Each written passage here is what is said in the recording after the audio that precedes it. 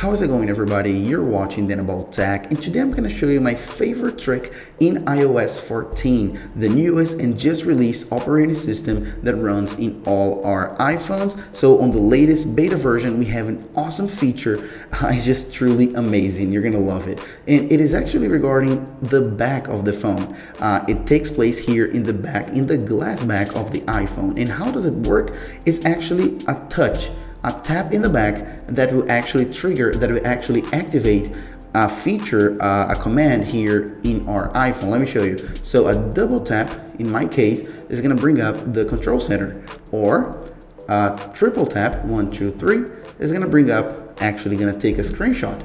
How cool is that? Uh, let me show you how you can set it up because it's very, very easy. But keep in mind that it only works again in iOS 14. So if you're not updated to iOS 14 just yet, make sure to go ahead and click on the card right here to go to another video of mine showing you how to install iOS 14 free without a developer account, without a computer. It's super, super easy. Okay. So now that you have iOS 14, we can go. So just head over to settings and then we're to scroll down to accessibility and then under physical and motor we're to have touch so tap on touch and then scroll all the way down it's to be it's pretty hidden actually you can see back tap so that's what we're talking about. So tap on, on that and then we can customize, we can set it up as I mentioned, a double tap and a triple tap and we can pretty much do whatever we want. So if we tap here on double tap and uh, both those menus are exactly the same, okay, so I'm just gonna show on double tap, uh, you can do a lot of different things. Like for example,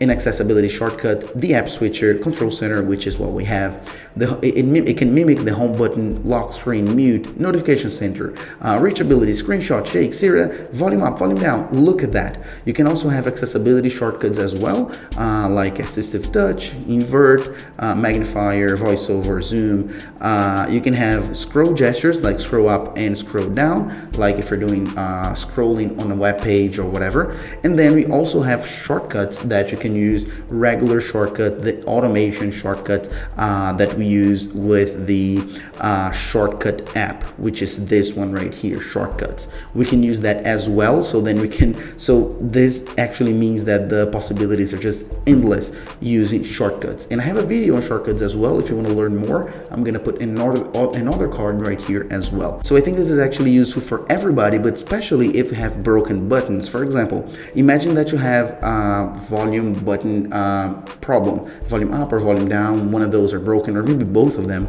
So then you can set for volume up, for example, and then you can double tap on the back and then it's gonna uh, bring the volume up. Again it's gonna bring the volume up a little bit more and then it's gonna do incremental changes in the volume. Same story if you put volume down. And if you have a volume up problem volume button problem you won't be able to actually take a screenshot for example. That's why I think it's also very interesting to take a screenshot.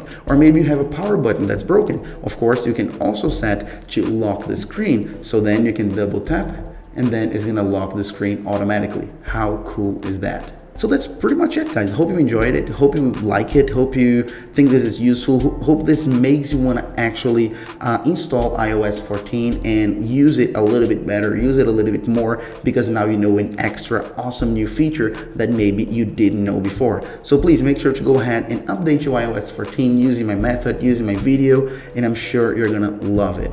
And if you like this video, this one, uh, I would really appreciate it if you could hit the like button down below. Also the comment section hit the comment section. I would love to see your thoughts on this. And also, of course, the subscribe button so then I get note and then the little bell icon, of course, so then you get notified whenever I post a new video. So that's pretty much it.